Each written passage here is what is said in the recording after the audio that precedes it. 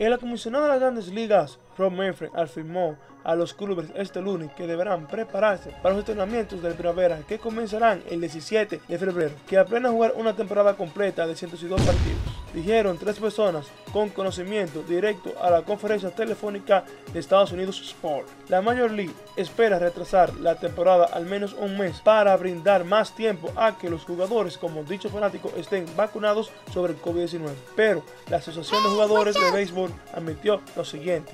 Major League no tiene derecho legal de retrasar literalmente el inicio de la temporada sin la aprobación de sindicatos de jugadores. Quedó bien claro que quiere que se le pague a sus jugadores el 100% de su salario.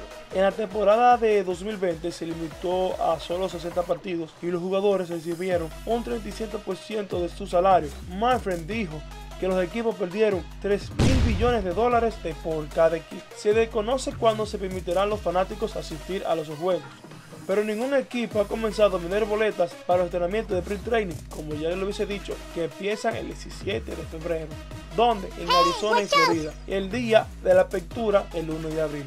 Es decir, muchachones, que esta temporada se jugará de la Major League su calendario completo, pero todavía no hay noticia cuándo se permitirá que los fanáticos asistan al estadio. Vamos a pedirle al Señor que esté lo más pronto posible tantas personas como los jugadores para que cada quien pueda disfrutar de su deporte que tanto le gusta como es las grandes ligas, el mejor béisbol del mundo.